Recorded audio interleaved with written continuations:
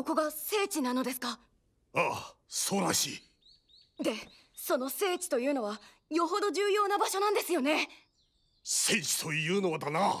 ガイおう！未来！ははい！俺は今立っているんだ。イチャイチャパラダイスの聖地にイチャイイチャイチャイチャパラダイス。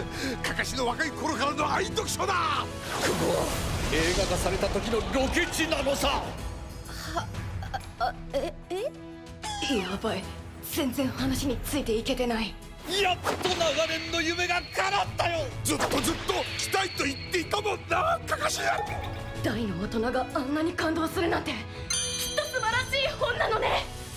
あのどんな内容なのですか？イチャイチャパラダイスって。内容？内容は？言えん！俺にはとても言えん！それほどの名著なら私も読んでみたいです。